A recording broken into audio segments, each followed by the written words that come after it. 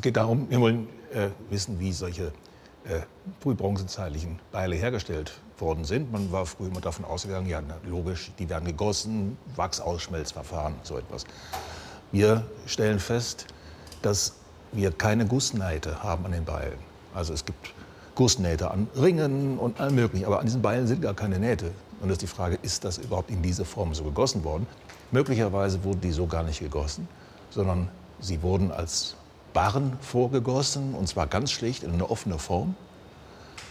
Und dann sind die überschmiedet worden. Das heißt, die endgültige Form entstand durch Schmieden. Das wäre auch technologisch sehr vernünftig, denn diese frühen Beile enthalten nicht viele Legierungszusatzstoffe, also nur geringe Mengen von Zinn, geringe Mengen Arsen.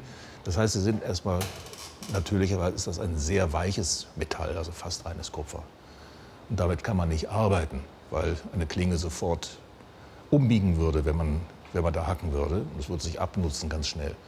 Wenn man aber dieses frisch gegossene Material, wenn man das nach dem Abkühlen dann schmiedet, dann wird es sehr viel zäher und härter. Das liegt daran, dass die erstarrten Kristalle, die werden sozusagen unter Spannung gesetzt, also wie so Spaghetti, die man verdreht.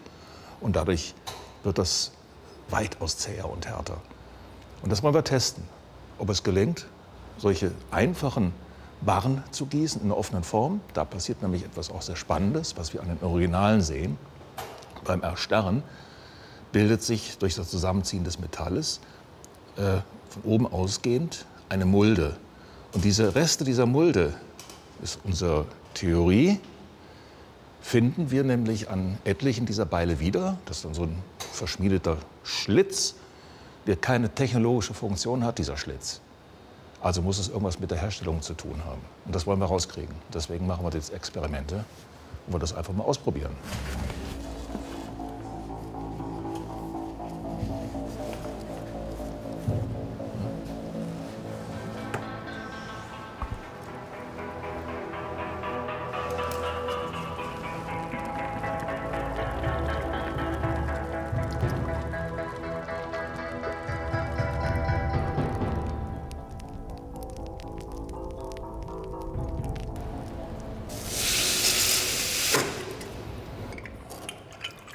Hier haben wir also diese Lunkermulde durch Zusammenziehen des Metalls. Ich denke, die Dicke ist wahrscheinlich auch okay, das muss man dann probieren. Für viele dieser Spuren, also auch gerade diese, diese rauen Dinge und diese, diese Löcher, die haben wir bei vielen originalen Beilen. Ich habe mich immer gewundert, wozu sind die da? Das ist sonst alles an diesem Beil ist ja sehr funktional, ja? also fast wie Bauhaus. Und dann hat man auf einmal diesen, diese Schlitze oder solche, solche Mulden da drin. Welchen Sinn hat das? Deswegen haben wir jetzt diese Experimente gemacht um der Sache auf die Schliche zu kommen.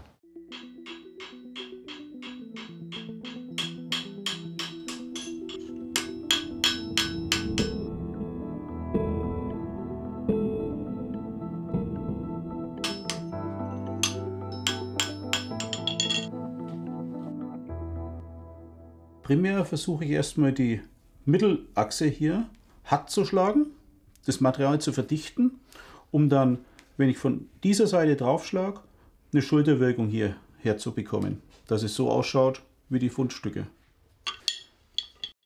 Die ersten Fehlversuche waren wahrscheinlich durchs Abkühlen nach dem Glühen sofort, denn da waren dann sehr viele Wassereinschlüsse in dem doch sehr offenporigen Material.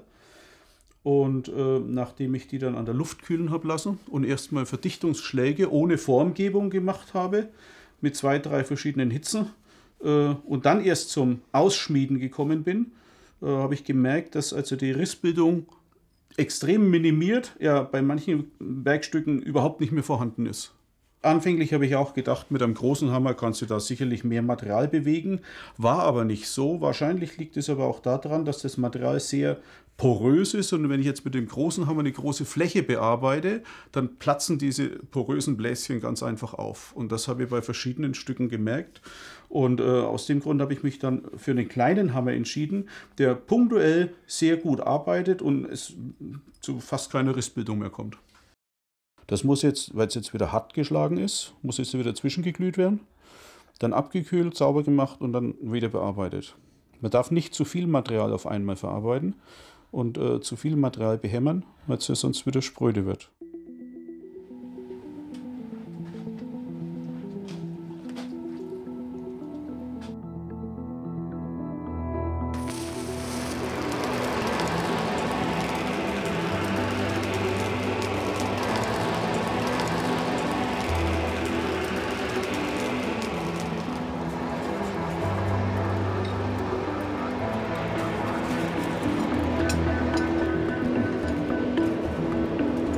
So, jetzt komme ich unten an die Hitze ran, die ich brauche. Man sieht hier an der Seite, es sieht aus, wie wenn das alles flüssig wäre. Hier an den Spitzen. Das ist dann die Temperatur, die das Material braucht. Wir wissen ja nicht, äh, wie das damals gemacht wurde. Da muss man natürlich dann auch mal schauen, wie dann der Schmiedevorgang mit den verschiedenen Gussformen sich auswirkt auf das Material. Das hier zum Beispiel, das war ein offener Guss, das sieht man noch. Hier ist der Guss und hier ist es dann bearbeitet. Hier kann man schon bereits die offenen Unebenheiten, die es noch gibt auf der Oberfläche, mit Hammerschlägen verdichten. Auf der Unterseite haben wir so gut wie gar nichts dran. Und hier kommen wir auch so langsam an diese Randleisten her. Das war jetzt vom Guss die Oberseite. Das hier war die Unterseite, die im Sand drin war. Und wenn man die also zuerst in der Mittellinie bearbeitet, dann wird die Mittellinie härter. Und dann die Randlinien bearbeiten und dadurch gehen die weichen Ränder, die schlagen sich dann rüber als Randleiste. Und das bedarf natürlich mehrerer Hitzen, mehrere Male ausglühen, erkalten lassen, wieder bearbeiten mit leichten Hammerschlägen und immer mit einem kleinen Hammer arbeiten, dass man immer nur so kleine punktuelle Striche hat. Und vorne ganz wichtig, nicht nach vorne ausschmieden, sondern stauchen, dass das Material nicht dünner wird, sondern dass es verdichtet wird. Denn nur durch die Verdichtung kann ich dann die Rissbildung, die es ja hier so euch gegeben hat, hier sieht man eine große Rissbildung, und die habe ich hier total vermieden, indem ich von vorne oben die Hammerschläge gemacht habe und nicht von der Seite. Hier ist also gebrochen, weil die Hammerschläge von hinten gekommen sind. Und auf dem hier sind die Hammerschläge von vorne gekommen und haben das Material quasi verdichtet. Nicht dünner gemacht wie hier, sondern zusammengestaucht. Ja, das waren also die Stücke, die alle äh, nach dem Glühen, nach dem äh, Hitzevorgang im Wasser abgeschreckt wurde. Äh, was man eigentlich bei Kupfer und bei Buntmetallen machen kann, ohne dass was passiert. Aber aufgrund dessen, dass diese Materialien innen sehr, sehr grobporig sind, hat es da Wasseransammlungen gegeben in diesen kleinen äh, Poren.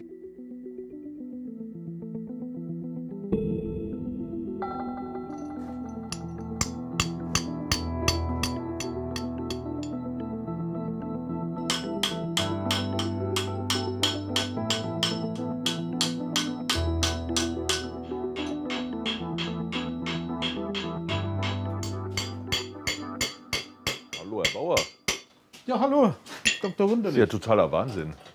Ja, war schon ein bisschen fleißig, Das, ist. Abwesenheit. das habe ich noch nicht gesehen. Ja, ich glaube, das kam schon aus der Charge äh, ohne Abkühlung. Denn die mit Abkühlung, die waren doch recht spröde und da war ziemlich viel Wasser sogar dann Kühlung noch. heißt also jetzt abschrecken. Ja, abschrecken, ganz genau. Nach dem Glühvorgang, dass ich sie abgeschreckt habe. Und ähm, das war, glaube ich, mit eines der ersten. Das heißt, Sie haben sie dann langsam abkühlen lassen und wenn sie dann kalt waren, dann geschmiedet. Genau. Ich habe die. Und das macht so einen gewaltigen Unterschied. Das ist ja der Hammer.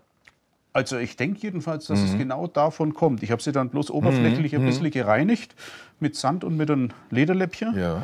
äh, sodass ich dann meine Hammerschläge bei der weiteren Verarbeitung sehe. Ja. Aber man Und sieht ja schon. Es ist nicht gebrochen wie die ersten, die Genau. sind ja dann, dann immer irgendwie im entscheidenden Moment dann gebrochen. Genau. Aber das sieht ja nicht immer so aus, als seien da überhaupt irgendwelche feinen Risse. Oder haben Sie Und- das äh, wieder irgendwie zuschmieden Nee, können? überhaupt nicht, überhaupt nicht. Das ist und richtig und gut. was auch noch äh, zu bemerken ist, hier sind die Ausrisse von hier. Ja, ja. Die haben wir hier nicht drin. Und zwar, weil ich jetzt mit dem Hammer von vorne nach hinten gearbeitet habe. Ich habe es also Ah. mehr zusammengestaucht, das Material. Und das sieht man auch bei dem Stück hier. Das wurde jetzt auch in der Technik von vorne nach hinten dann gearbeitet. Mhm, Also das, bleibt ist nahezu schon perfekt. Also das, Ja. wenn man so etwas finden würde, würde man schon fast sagen, okay, das ist frühe Bronzezeit. Wie lange kann man denn eigentlich jetzt schmieden zwischen zwei Erhitzungsvorgängen? Äh, jede Seite mit einmal vor, äh, vorwärts, einmal rückwärts abhämmern und dann ist es vorbei. Dann ist er quasi schon hart genug. Und um, um ein, ein, ein Beil jetzt fertig zu schmieden, wie viele Erhitzungsvorgänge braucht man da ungefähr? Also ich habe jetzt die meisten hier mit fünf bis sechs Hitzen plus zwei, drei Hitzen ganz am Anfang. Denn äh, ganz am Anfang verdichte ich ja erstmal das Material, Ja. ohne dass ich eine Formgebung Damit reinmache. nicht, damit es nicht zu diesen, diesen Ja. porösen Genau. äh, Strukturen kommen, Genau. die hier wohl zum Bruch geführt haben. Und die habe ich ja überall Ja. drin, ne, weil es überall so Naja, porös das kommt ist. vom Gießen ne? am Anfang natürlich, Ja. weil in der Schmelze ja viel Sauerstoff gelöst Ja, ist. ja. Und der perlt aus Ja. beim, beim Erstarren. Und dann hat man im Grunde erstmal ein Metallrohstück wie ein Schwamm. Und dieses Schwammverhalten, das haben wir also hier ganz deutlich gemerkt. Wenn man Mhm. den Gussrohling jetzt glüht in der Hitze und ihn abkühlt im Wasser und dann wieder trocknet, dann schaut er jetzt erstmal trocken aus. Wenn ich aber jetzt mit dem Hammer den bearbeite, wird der Amboss nass. Das heißt, Mhm. Das heißt, ist, da ist richtig Wasser da eingesogen. ist richtig genug Wasser drin und Wasser lässt sich ja nicht verdichten bei Hammerschlägen. Mhm. Nee, nee, logisch. Und da gehe ich immer davon aus, dass das also schon mit zur Rissbildung auch beigetragen hat. Ne? Ich meine, ist natürlich das heißt, sauberer. wenn man das an Luft abkühlen lässt, passiert das natürlich nicht. Ja, und die hier habe ich jetzt mit Luft abkühlen lassen. Die muss ich jetzt halt ein bisschen sauber Ja. machen. Mit Sand das und mit viel, viel Lederstücken. besser aus. Schön ist natürlich auch, dass wir verschiedene äh, Gusstechniken hier haben, wie diesen, diesen offenen oder den geschlossenen Guss. Ja, ja. Äh, das mit den, mit den Gussrändern, die habe ich extra nicht weggeschliffen beim Ja. Schmieden. Die habe ich gelassen. Äh, die kriegt man auch nicht ganz weg. Das heißt, wenn Gussränder da wären und man schmiedet nur, dann sieht man die irgendwie. Das heißt mit anderen Worten, die sind also ich nicht in der zweischaligen Form gegossen worden, sondern das sind wirklich solche offenen Barren gewesen. Das heißt, im Grunde damit hat man auch schon nachgewiesen, dass die Dinger geschmiedet worden sind und nicht gegossen. Ich meine, wir haben ja hier auch verschiedene äh, Formen von den Barren. Also mal ein bisschen äh, dicker, mal ein bisschen ausgearbeitet. Ich gehe mal davon aus, dass die natürlich auch ihre Erfahrungen dann gemacht haben, mit welcher Temperatur dass sie da arbeiten müssen, wie der Guss dann ähm, reinfließt. Äh, also Gibt's ich gehe da- davon aus, dass hier ja. schon Schmiede Gibt es am da, gibt's Ihrer Erfahrung nach jetzt irgendeine Idealform des Barrens? Also womit geht es am besten? Also eher mit dem hier, der so aussieht wie so ein Löffelbiskuit oder schon mit diesem Keil eher? Also ich bin ja noch nicht am Ende der ganzen Versuche, Ja. aber mit dieser Form hier geht es wunderbar. Ja. da kann man sogar die Hohlseite, die vom Guss her sich ergibt, äh, nehmen, um bereits die Schultern vorzuformen. Ne? Denn wir haben ja oben immer diese Schultern drauf und wenn ich von dieser Hohlseite, von der Rückseite dann quasi bearbeite, dann drückt sie die weiter nach unten. Ja. In der Mitte wird es hart. Und wenn ich jetzt von der Seite drauf klopfe, dann wird natürlich das Material da oben breiter. Und das hat sich eben auch schon bei einem Versuch wunderbar gezeigt.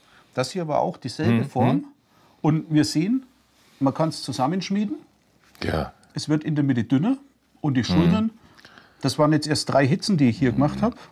Das heißt, die Schultern bilden sich im Grunde Die- die- automatisch raus. die Das ist bilden also sich raus. nicht jetzt irgendwie ein, eigentlich nicht ein Stilmerkmal, sondern das ist einfach etwas, was sich Ja, es- es- es alleine ergibt, wenn man es- so einen Beil herstellen will. Wenn ich mit der Ja. Mittelschmied-Technik anfange, dass er also zuerst in der Mitte schmiede, dann ist ja das in der Mitte härter. Und wenn ich dann die Seite bearbeite, dann gibt es diesen Wulst dann. Ja. Das ist Wahnsinn. Äh, der Witz ist nämlich, dass wir bei vielen Originalen in diesen Rillen tatsächlich noch diese, diese Rauheiten haben und wir uns mal gefragt haben, woran liegt das Ja, eigentlich? ja, ja. Das erklärt sich sozusagen durch den Guss und anschließenden Schmiedeprozess und durch nichts anderes. Genau. Und hier sieht man ja auch ganz deutlich, dass hier äh, so gut wie gar nichts äh, an großen Rissen da ist wie Ja, hier, ja. Mhm. weil eben auch von vorne bearbeitet wurde mit dem Hammer. Also das Ne? ist sozusagen auch gestaucht und genau so ist es. Genau so ist es. Ja. Und wenn sie das nicht machen, dann bricht es halt eben Ja. dann hier schneller durch. Ja. Der Witz ist ja, wir haben einige Beile in unseren Hortfunden, die sind genauso gebrochen. Ja, Der Trick ist glaube, dann tatsächlich langsam abkühlen, nicht mit Wasser Genau so ist es, ja. und dann erstmal verdichten, Ja. ohne versuchen, dem eine Form zu geben. Erstmal verdichten. Genau so ist es. Das Ja. heißt, es ist eigentlich, man schmiedet es zurecht, um es überhaupt schmieden zu um, können. um, um schmiedbare Bronze Ja, zu, ja, zu ja. erhalten. Ja. Und das ist natürlich ein Prozess, der Mhm. dauert auch ein bisschen länger. Ne? Vor allen Dingen, ich mache es ja momentan noch mit äh, Stahlwerkzeugen. ja, ja. Und dann gehen natürlich auch dazu über, das mit Sie Stein und mit Bronzewerkzeugen Sie zu haben ja hier schon, schon Hämmer, die sehen auch schon ein bisschen benutzt aus. ja, habe ich auch schon die Äh, ersten Versuche gemacht. Funktioniert das? Ja. So, das hier ist jetzt Mhm. eine Vorlage, die nur mit diesem Hammer auf diesem Amboss hier gearbeitet wurde. Ne, freilich.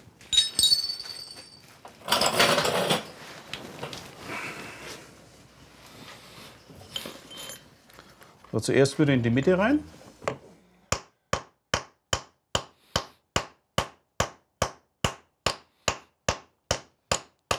Einmal Und vor mit und dem, zurück. so einem groben Stein kann man so gut zielen. Das ist ja erstaunlich.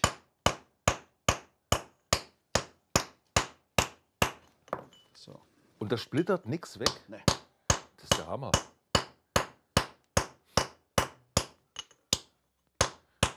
Da fragen sich die Archäologen dann, wo ja. sind die Hämmer? Die suchen nach Bronzehämmern, Bronzeambossen. Aber das sind einfach Steine, das erkennt man möglicherweise gar nicht. So, und jetzt werden wir uns mal betrachten. Ja. Wie hier jetzt bereits schon die Schulter ausgeprägt wird. Ja, ja. ja. Wird ein ganz bisschen warm. Na super. Ja. Also irgendwie vom Sound würde ich fast sogar sagen, dass es mit Stein besser als auf Stahl. ja, also es funktioniert auf jeden Fall recht gut. Ja. So. Ja. Und da sieht man jetzt richtig, wie sich diese Randleisten Ja. einfach durch das Schmieden Ja. von Die alleine aufwe- äh, aufwellen. So ist es. Ja. Das ist klasse. Ja. Und sie schmieden erst innen, damit es da verfestigt und dann So ist es. wälzen das Weiche von außen sozusagen über das feste genau so ist es. Genau so ist es. Klasse. Und ich bin jetzt Ja. auch so weit gegangen, dass ich mal den Hammer ausgetauscht habe gegen den Bronzehammer aus ja, Ja. Resten, die ich gehabt habe. Hier, das ist dieser hier. Ja. oder? Und da habe ich dann mit dem Teil hier die ersten Versuche gemacht, die ersten Formgebungen. Und jetzt wäre quasi die zweite.